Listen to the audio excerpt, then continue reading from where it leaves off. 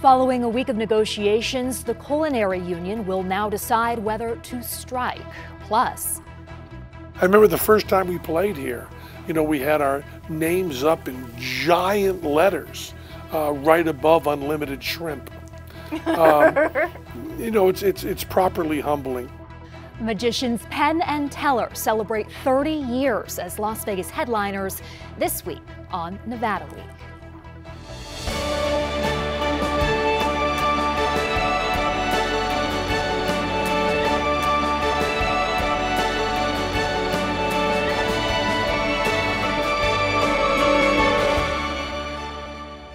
Support for Nevada Week is provided by Senator William H. Hernstadt.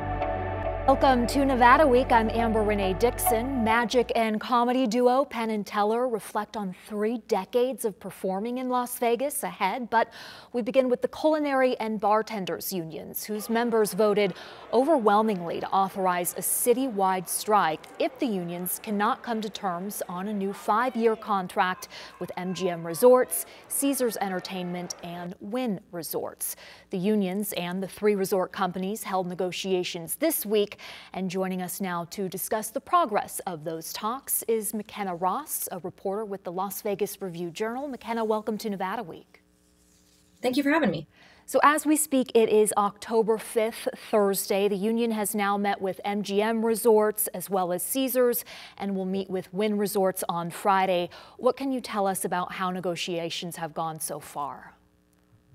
Well, these negotiations have been going on since about April with the major employers that you mentioned MGM, Caesars, and Wynn Resorts. Um, we know that this citywide contract ended on June 1st, but they've had, been taking uh, contract extensions until about mid September when the Culinary Union decided um, that they should end those uh, contracts at those properties and um, have been working under you know, expired contracts. And what are they telling you as far as how negotiations are going? You know, the culinary union has said that they don't feel that, you know, enough is being done. This week they said that they felt that the companies had come to negotiate, so they felt there was some progress there, but at the same time they are still uh, strongly suggesting a strike is possible.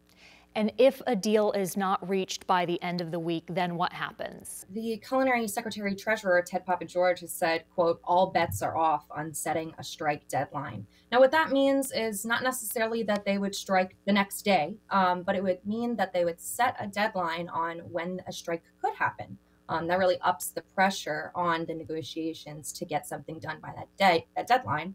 And if uh, that deadline occurs and passes, then you know, those um, workers could go on strike. And that's something that's been, I think, a little bit confusing for people is that they've authorized a strike. They're not striking, and they haven't yet said by this date, if we don't have a deal, we're going to strike. But that is the next step is setting a strike deadline. And we're talking about tens of thousands of employees who work on the Las Vegas Strip potentially walking out if they don't get what they want. What is it that the union wants, and why does the union argue it deserves these benefits? The union is fighting for what they call the winning the winning the largest wage increases ever negotiated in its history. Now they're not being specific about what they um, want exactly in terms of wages and benefits, but um, you know efforts to increase the wages substantially. Um, they're also fighting for reduced workloads um, and lowering steep housekeeping quotas um, and mandate, mandating daily room cleanings. Um, other things like on the job safety protections, um, making sure that the uh, extended recall rights are involved, and part of the contract adding something like a no strike clause that doesn't prevent the union from taking action at um, non unionized restaurants on a casino's property. Why do they and say they, they deserve they argue, this? Yeah. Sure. Yeah. Yeah. They, they argue that they um, deserve this because they the gaming companies have done exceedingly well since the pandemic, since coming out of the pandemic, and they want a piece of that profit. You know, and the the negotiations related to workload and workforce safety are meant to address all these changing responsibilities and the staffing sizes that have dropped um, since the pandemic. What are the resort companies saying to you when you reach out to them? Now they're they're pretty tight-lipped in their responses, but they do say that the negotiations are something that they're working very hard on.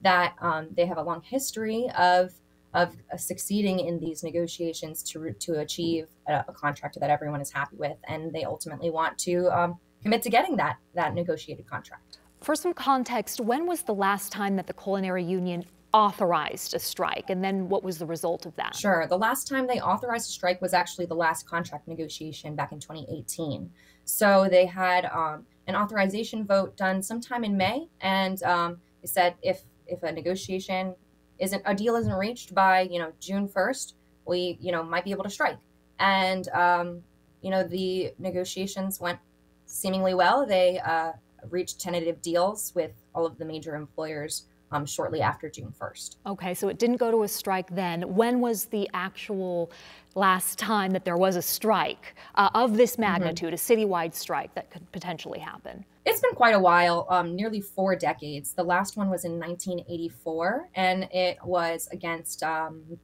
about 20 or so um, strip properties. It really um, caught them off guard, actually. And so it was a massive event it lasted 67 days and it was about 17,000 workers that struck alongside the bartenders union and unions that covered musicians and others, um, stagehands and like that. So it was a, a pretty long one, and um, experts have told me that it caught the companies off guard at that point, and it's possibly why it took so long to uh, achieve that. Um, and there were, you know, confrontations, and there was an estimated, um, you know, workers estimated that they lost to $75 million in wages and benefits, and it's it, there's an estimate out there that says the region lost a similar number in um, tourism revenue. Wow. Um, as far as the experts you've talked to about the likelihood of a strike this time, what are they telling you? You know, they really uh, weigh it both ways. You know, in in previous years, there have been, um, you know, th- there have been negotiations that have gone very close but always stopped. Um, but also at the same time, there was a more available worker pool of potential strike breakers that they could pull from to staff the resorts um, if a strike did occur. And nowadays, there's a, a, lot more power on the labor side of things. We have a very tight labor market as is, and um, and then these people they they really uh, want to make it by the uh, by these major events that are coming up. That's another part of it. They have to worry about um, getting this deal done and avoiding a strike before we have a, a massive calendar of events coming. Not not including you know conventions and of course Formula One in November and um, all the way in December or sorry, all the way in uh, into next year the the Super Bowl. Right, of course, they have some leverage there. McKenna Ross, thank you for your reporting. And to follow McKenna Ross, go to LasVegasReviewJournal.com. We move now to magic. Magicians Penn and Teller recently extended their residency at the Rio for three more years. In total, the legendary pair has performed 30 years in Las Vegas, a milestone I asked Penn Jillette about. He's the speaking member of the magical duo when I sat down with him and Teller backstage at the Rio. 30 years in Las Vegas. Yeah, Jiminy Cricket, how'd that happen? what do you attribute your longevity to?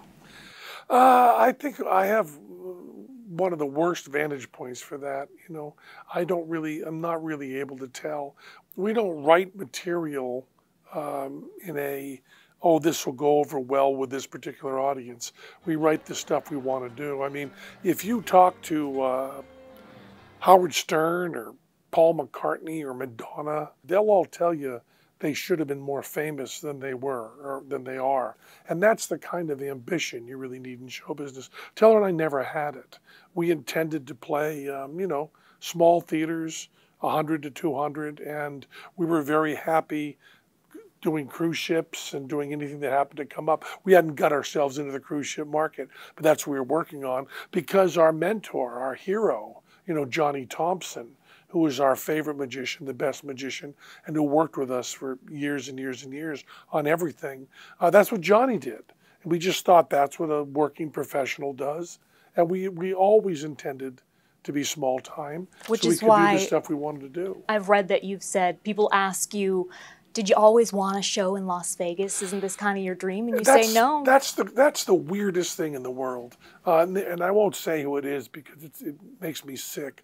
But there are magicians in Vegas who say all they ever wanted was to have a theater in Vegas, and you say, well, didn't you care about the show?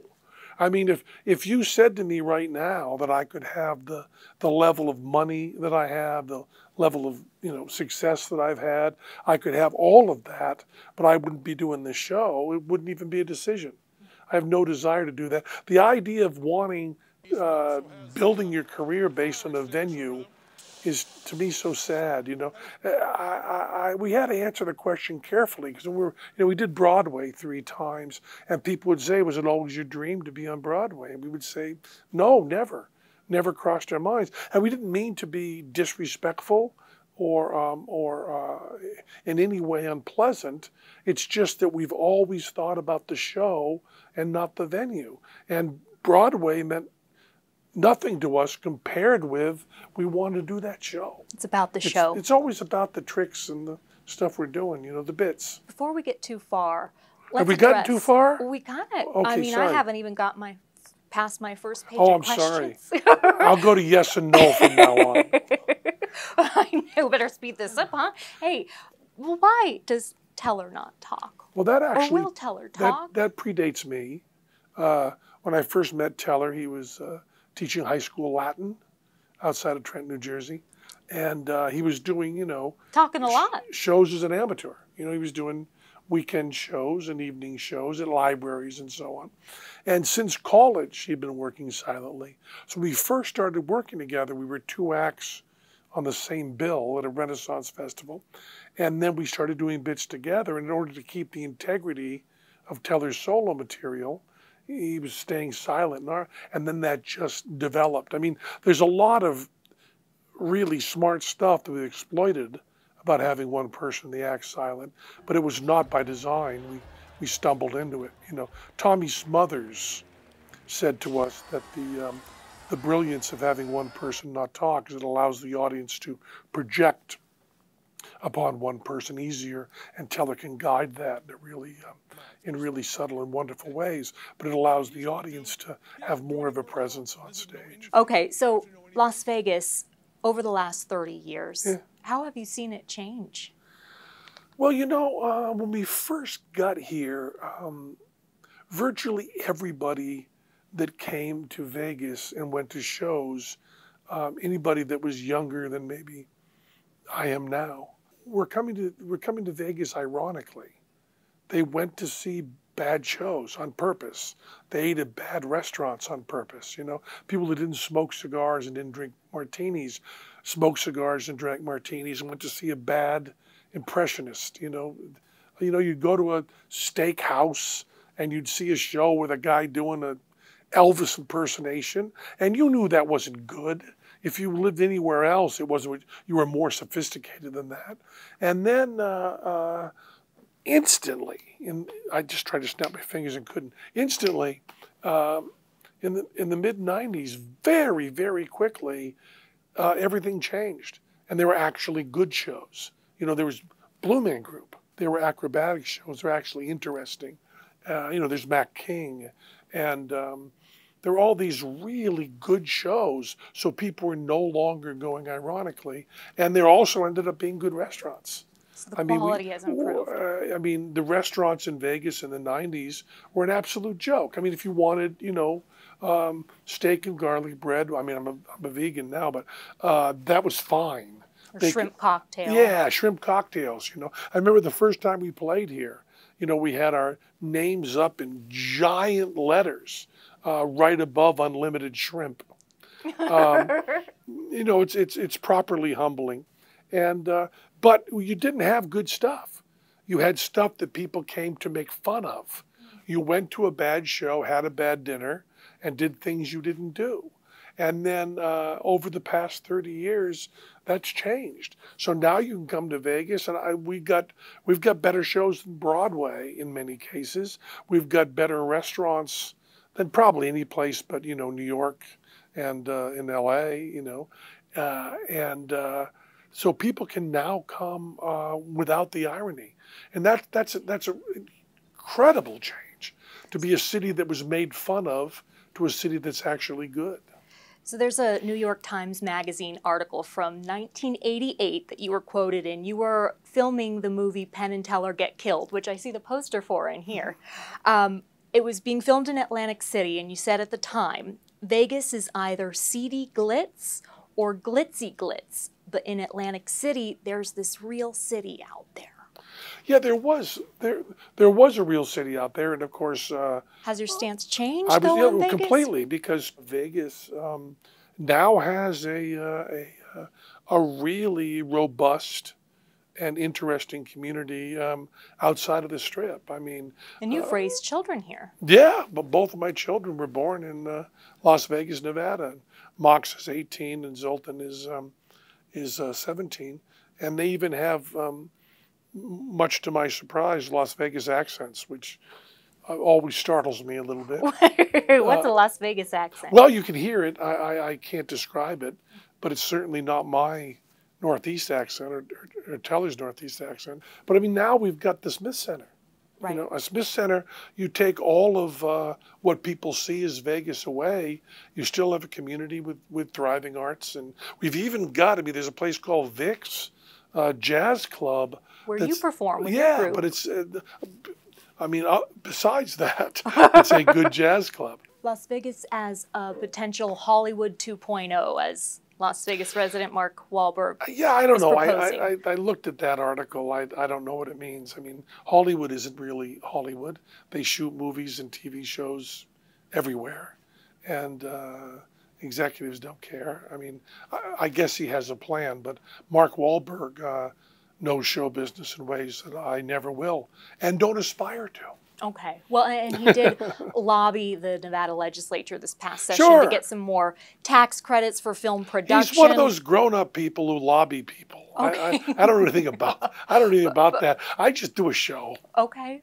Politically, you describe yourself as a libertarian. Though. I used to be. Used to once once um, I got an email that said we're we're protesting people wearing masks. That second, I stopped being a libertarian. So I was libertarian. Now I'm um, I'm anything that's not MAGA. By being outspoken like this, do you get concerned about who's going to come to your show and, or not come to your show as a result?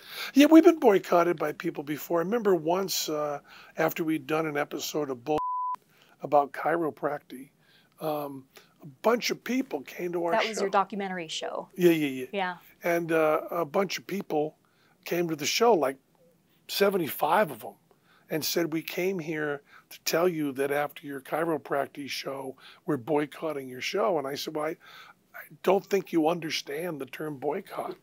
Um, I know, I, I think, you know, I'm, uh, I'm an outspoken atheist, and um, I listen to gospel music. Little Richard, uh, Jerry Lee Lewis, um, many of the important, you know, um, um, uh, this, uh, Sister Rosetta Tharpe, and uh, Why? you just keep Why do naming you them. listen I listen to that because it was the best music of the time. And although I'm an atheist, I don't say these are Christians. I'm not going to go to see their show. And I have incredible respect for Christians, and I think they do the same for me. I think there's a lot of people who are believers who come see our show, which doesn't have doesn't have too strong an atheist message now and again, a little bit of skepticism. And they come to our show, and we have a lot of people who write us notes saying, I love Jesus and uh, I love your show. And that that is what it means to be in a uh, in being an open, loving society. And uh, we have a lot of people who are MAGA that come to our show, and I had no secret about my dislike of Trump, and they still come to our show, and that's the way it should be. Had you not had the success that you have had, would you still be street performing Uh, as you did earlier in your career? I blew my voice out. Um, medically, I, I don't know as I could. Okay. But uh, I met someone who was very, very uh, close friends very close to Bob Dylan. Said that if he'd had no success, he'd be playing those same songs wherever he happened to be. And um, I would not compare ourselves with a Nobel laureate, but um, it's certainly true for us. I mean, uh, not exactly true because if we hadn't had the success, uh, some of the tricks we do are expensive and we wouldn't be able to do them. We wouldn't have the best crew in the world working for us, but um, we'd still be doing stuff like this. And I also think, um, and maybe this is um, this is uh, hubris or something, but I think that if we not had this success, we'd have enough success to support ourselves. I think that I think we'd be working, and we'd be happy working. I mean, the the weird thing is, um, uh, we were really happy doing our shows before we had what other people call success. We were we were paying our rent. We were we were feeding ourselves. We had friends, and we were doing shows that we thought were as good as the shows we think are now. And if we're deluded about how good our shows are, we were deluded back then. God bless us. Recognizing it. So, okay, back to that 1988 article. You said, quote, everyone becomes a parody of themselves. I mean, look at Mick Jagger, Bob Dylan, and Bruce Springsteen. But we aren't there yet. I just hope we don't lose our goofiness. Uh, yeah. Are uh, you there yet? Uh, I don't know. That's once again, that's a question um, someone else would have to answer. I mean, uh, actually, that that sounds like I'm being unkind to Bob Dylan uh, or disrespectful, but Bob said that himself. You know, there are times that you end up just doing what you were doing and what people like, and probably I mean the best example of that is uh, is Mick Jagger, and he probably doesn't care. You know, uh, I I think he and I think he would probably also admit that. I mean, Bob uh, Mick Jagger said when he was in his early 20s, I'm certainly not going to be singing Satisfaction when I'm 40. Now he's singing Satisfaction at 80. So um, uh, I don't know. I mean, uh, I like to think we're always doing new stuff and we aren't in a in a cookie cutter uh, parody of ourselves. But once again, I'm not the one that can answer that. You might be sitting in the audience and think, uh, how can he say that? There's they're complete self parodies, and we wouldn't be able to see it. Um, but we aren't doing the same stuff we did last week. Um, we write new stuff all the time, and we we write I think more magic than just about anybody else ever has. And um, I mean, how so, many tricks did you do just for the television show Penn and Teller Fool Us? How well, many? For Penn and Teller Fool Us, we've done so far something like 150. Wow. They were all uh, unique Over tricks. 10 I mean, we just finished. Uh, we just finished season uh, last season, and we did 20 show, 21 shows, and they were all uh, all new tricks. The point of that show, though, is magicians trying to fool you. Yeah. What kind of impact do you think you've had on magic with that show? I mean, 10 seasons. Yeah, I don't know. You know, uh, uh, I don't want to get uh, unpleasantly sentimental, but we've now had people on the show who started magic because they saw the show. That's why they started, and now they're on the show. And um, that's a kind of um, powerful emotional feeling to see that because I don't know what impact we've had on the world, but that's some impact on those people.